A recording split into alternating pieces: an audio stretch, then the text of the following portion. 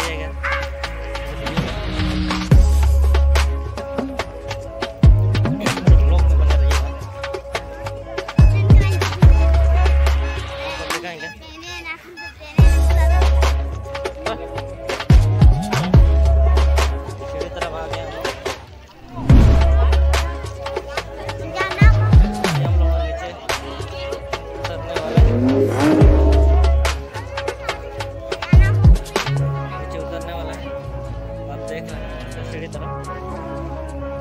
sama daerah kecil tereng ya.